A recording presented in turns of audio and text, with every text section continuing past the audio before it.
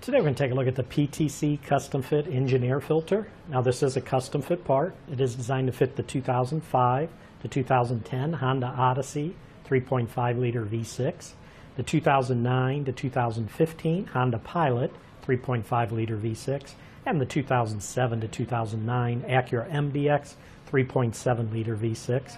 And on a custom fit part like this, I always like to recommend for you to go to our website, use our fit guide, put in your year and model vehicle, and it'll show you if this will work for your application. Now this is a custom fit engine air filter, which will replace your vehicle's existing filter to improve performance. It does use the embossed paper pleats to protect your engine from debris and improve the airflow, helps prevent harmful dirt and debris from entering your engine, and it will increase the flow of air to your engine, improving acceleration and mileage. Does easily install into your engine's air filter housing. Uses this silicone sealing gasket that's all the way around the edge of it to ensure a nice strong seal between the filter and the air intake box. This is for a quantity of one single-use engine air filter, and it is an exact replacement for the Champ part number AF3992, the Fram part number of CA10013, Purolator part number of A25651, and the Wix part number of 42844.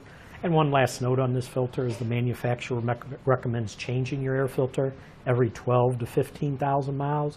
And to determine how often your filter should be changed, we recommend that you consult your vehicle's owner's manual. But that should do it for the review on the PTC Custom Fit Engine Air Filter.